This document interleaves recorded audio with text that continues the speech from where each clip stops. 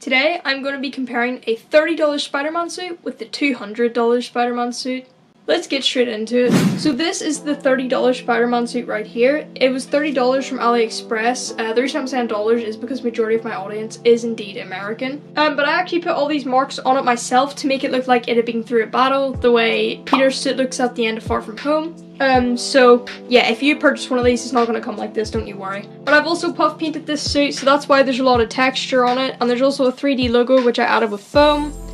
And some parts have 3D like leather straps that aren't made of leather. They look really bad. I did that. That they didn't come like that. So this suit has a straight back zip, not a U-shaped zip, and it also has forearm zips. However, it did not come with those. I had to add those in myself. So if you plan to purchase this suit, you will not get forearm zippers in it. This suit has no soles or anything, just uh, normal feet on it because when you're buying a spandex suit from like AliExpress or eBay or Amazon, you can't get shoes with it because it's cheap.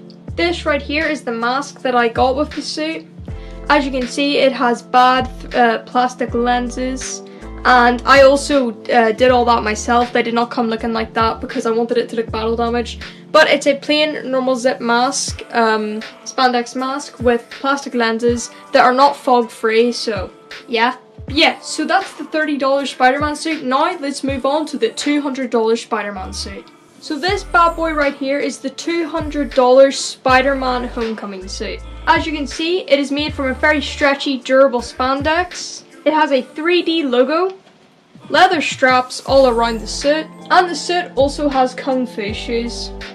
So I got this suit from Herostime and the main reason it cost $200 is because I got 30 $30 leather straps, a 3D logo which was about $10 and the shoes which were also about $30. The suit itself without all of those cost around 90 I also bought forearm zips with this suit. I did not have to add them on myself and I got calf zips on the suit so it makes it easier to access the shoes. I got no lenses on the mask and I paid an extra $2 for open eye holes because I have a face shell. I would definitely recommend getting this suit and not the one from AliExpress as this suit is very good material and it has never ripped on me or anything. The spandex material in the suit is also very shiny and it gives it a movie-like look.